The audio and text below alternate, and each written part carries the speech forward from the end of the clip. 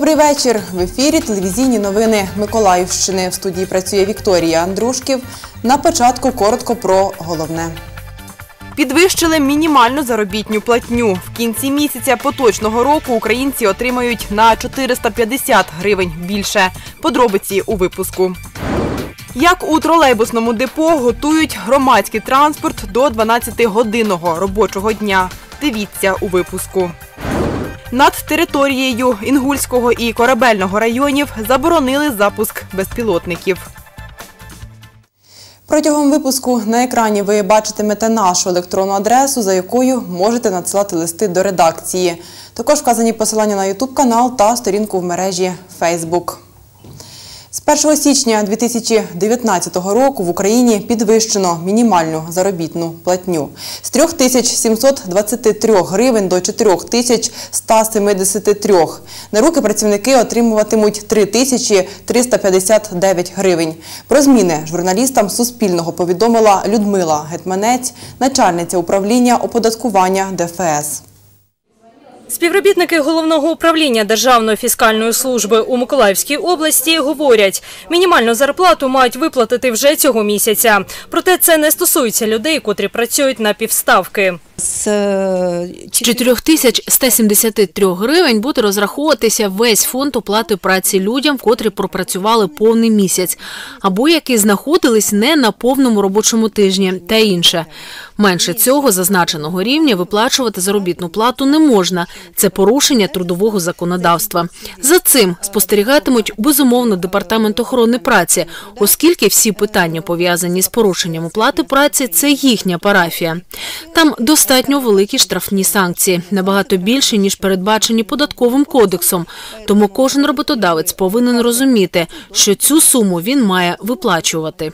Роботодавці говорять, готові виплачувати мінімальну зарплату. Нужно понимать, что особенно в этом году, принимая во внимание предстоящие э, Потрібно розуміти, що особливо в цьому році, беручи до уваги вибори, які мають відбутися президентські, а потім і парламентські, ну всі дають собі раду в тому, що найприємніший рік життя країни це рік перед виборами. Тому всі обіцянки, про які йшлося, зараз будуть здійснюватися, як правило, за рахунок самих платників податків. Я вважаю, той рівень заробітної плати, котра називається мінімальна, в будь-якому випадку не відображає фактичної вартості оплати праці людей. Про те, що зарплата видається у конвертах, це не новина. Про це говорять всі і підприємці, і політики.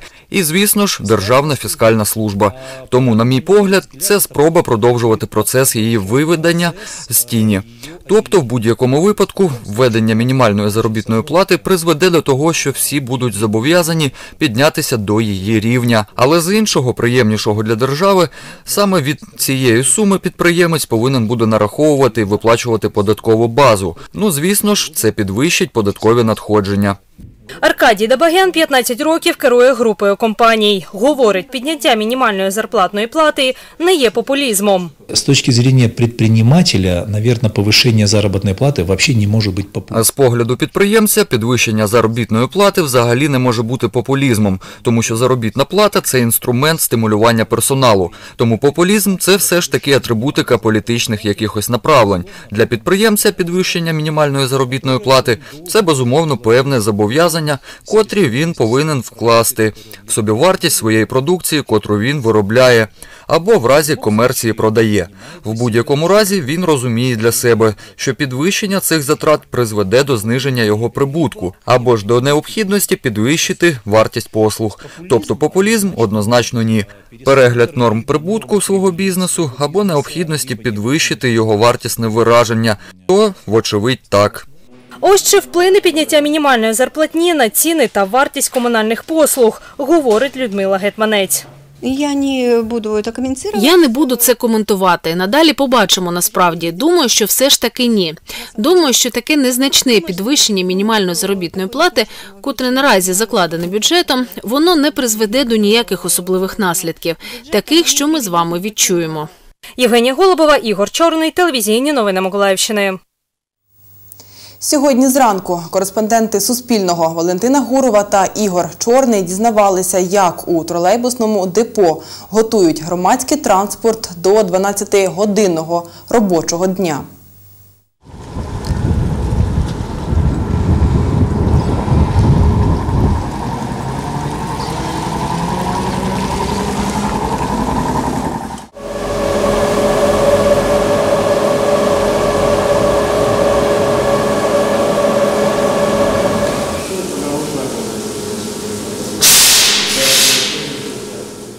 Щоденно на маршрути у Миколаєві виходять 42 тролейбуси та 41 трамвай.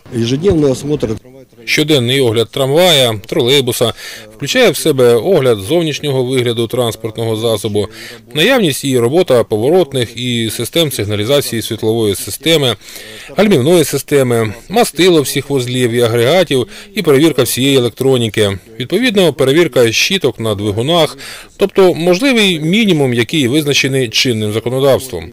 Прибирання в салонах громадського електротранспорту роблять щоночі та щотижня миють транспорт. в уборку подвижного состава У прибиранні рухомого складу входить і з зовнішнього боку транспортного засобу, з внутрішньої сторони, з середини салону, тобто підмітання, миття вікон, усунення всього, що наші улюблені пасажири зробили за цей час, тобто маркером, хто щось намалював, хто ще щось поцарапав, хто порізав сидіння.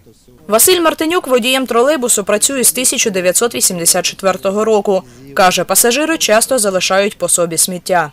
Багато є ну як толкових водіїв, що навіть на обіді буває у нас женський колектив замітають, хоча не повинні цього робити, але е, фантики збирають.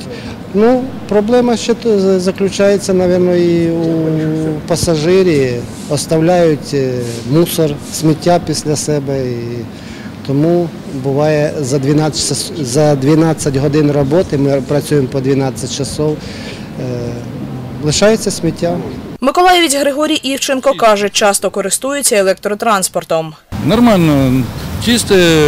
Нормально, чисті, приємно їхати. Двері в трамваях дуже великі щілини. Ось буквально сидиш, дме неможливо. Марія Стеблич каже, міський електротранспорт у нормальному стані. Хоть бы так было, как есть, чтобы не Хоч би так було, як є, щоб не гірше. Вже ми згодні на все, тільки щоб не гірше було.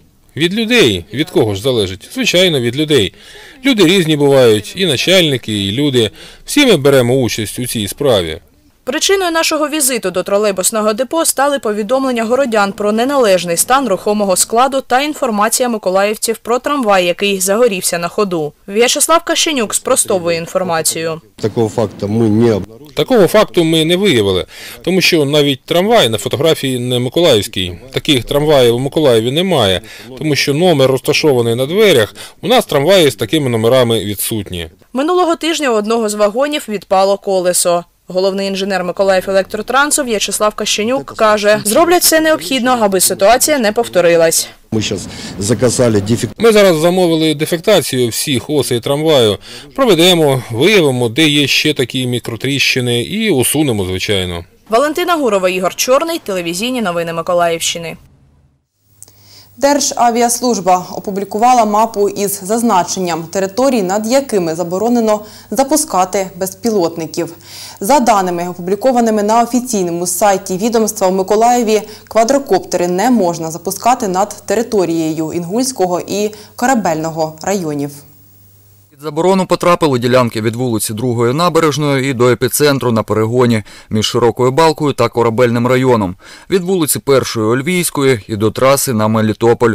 Не можна літати над вулицею Космонавтів, проспектом Богоявленським, Херсонським шосе, Баштанським шосе, вулицею Кірова тощо. Заборона стосується мікрорайонів Матвіївка і Баловне. Заборонено запускати дрони над заводами «Зорямашпроект», Сандора, Миколаївським міжнародним аеропортом. Під заборону потрапили всі військові полігони та вся територія Кінбурнської коси. Сьогодні, 14 січня о 15.30 на вулиці Індустріальна у Заводському районі міста Миколаєва у відділенні буксира судно-ремонтного підприємства виникла пожежа. За попередніми даними, пожежу спричинило порушення правил пожежної безпеки при проведенні газозварювальних робіт. О 15.55 пожежу локалізовано на площі 15 метрів квадратних. Всього залучено 4 одиниці техніки, 16 чоловік особового складу головного управління Державної служби з надзвичайних ситуацій України у Миколаївській області. У понеділок, 14 січня, міські служби зробили демонтаж новорічної ялинки на вулиці Соборній біля Каштанового скверу.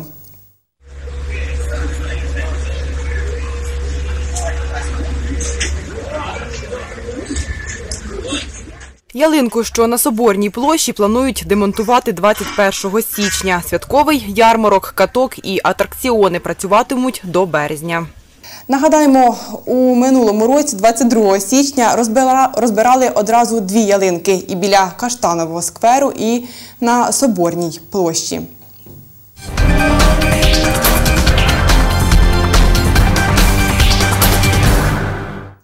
Старий новий рік по-болгарськи у мікрорайоні Тернівка спільнота болгар відсвяткувала сурву.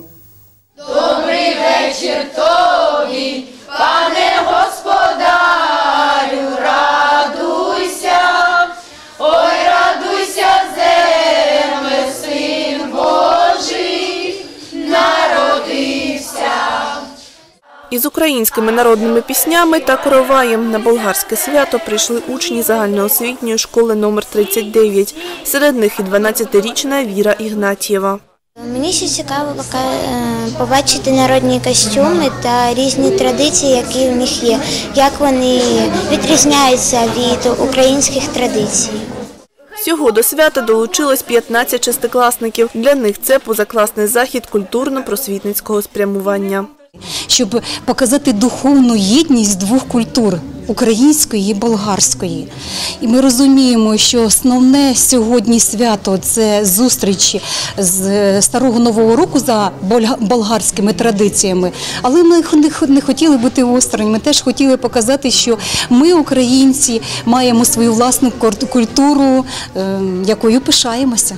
Болгарський новий рік за старим стилем Сурву у Теренівці з концертом святкують всьоме. Організатори заходу члени болгарського культурно-просвітницького центру Тирновка, місцеві бібліотекарі, співробітники та вихованці Теренівського будинку культури. Це велика така творча родина, яка е, з кожного року готує це традиційне свято. Е, З цього року е, свято Сурва входить до нематеріальної культурної спадщини Миколаївської області. Тож ми дуже пишаємося цим, і це є таким стимулом для нас, щоб розвивати, щоб зберігати, розвивати цю традицію, цей обряд. Концерт відкриває постановка болгарського передноворічного дійства.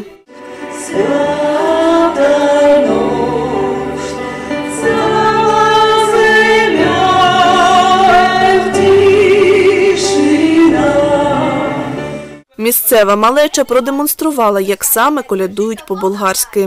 Сурма, сурма, година, весела година. Голям класна ніва, червона яблука в градіна. Жит мамул на лісах, голям грозна лоза. Зі сцени лунали і українські народні пісні.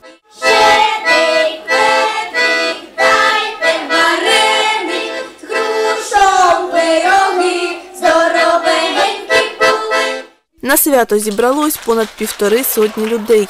Серед них більшість етнічні болгари.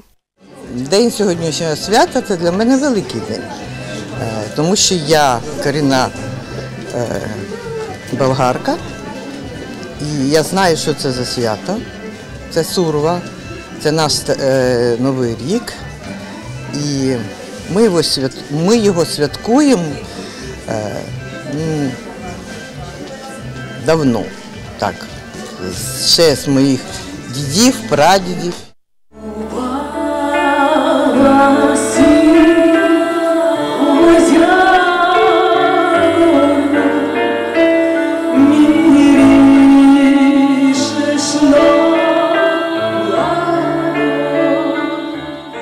Вікторія Чернявська, Валентина Гурова, телевізійні новини Миколаївщини.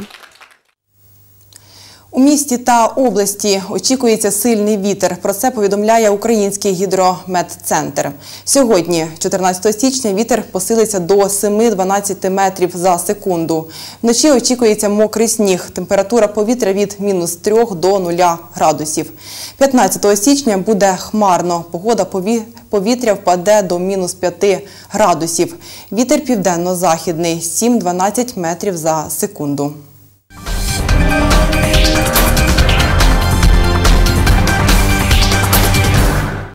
Слідкуйте за нашими новинами у соціальній мережі Facebook, сторінка телеканал Миколаїв, на Ютуб каналі та слухайте на хвилях українського радіо Миколаїв, частота 92 FM.